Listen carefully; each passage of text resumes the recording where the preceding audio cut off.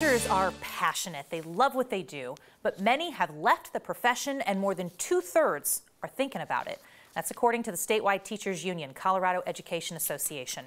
A bill that passed last year in Colorado could help with the shortage. It gives student teachers a stipend while they have their residency in real classrooms. Before students working on their education degrees didn't get paid for student teaching. 9 News reporter Courtney Yuen gives us a closer look at the impact that that money is really having.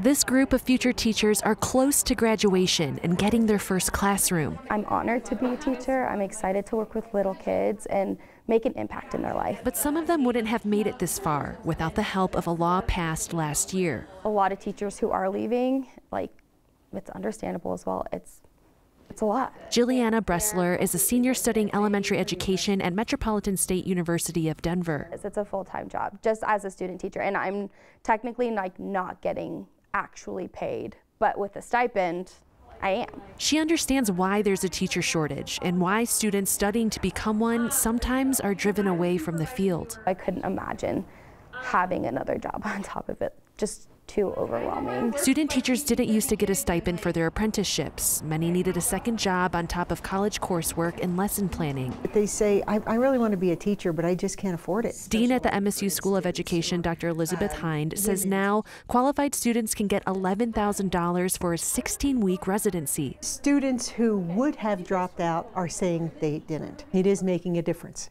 These people are staying in teaching and that's what we need. She says 136 of their students this year qualified for the stipend out of about 200 student teachers in the college. The students use the word lifesaver, game changer, and grateful. So having that stipend literally life changing. For Juliana, it meant being able to pay her bills, buy groceries, and continue her dream of becoming a first grade teacher. I graduate May and I will start at Smith.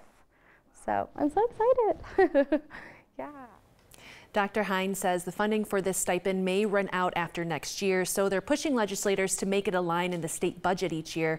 Not everyone qualifies for the financial assistance. There's a bill on the governor's desk right now that would expand eligibility. I feel like we see this in a lot of careers where that unpaid portion of the training is really um, the difference maker and the barrier for a lot of people. Yeah, it can push them away from the job, but you know, we're in a teacher shortage. We need them to stay in it right now. Yep. Courtney, thank you.